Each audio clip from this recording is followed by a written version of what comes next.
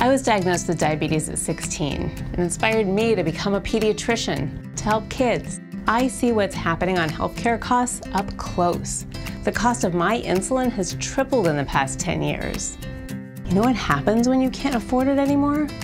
That's something career politicians don't get, but I get it.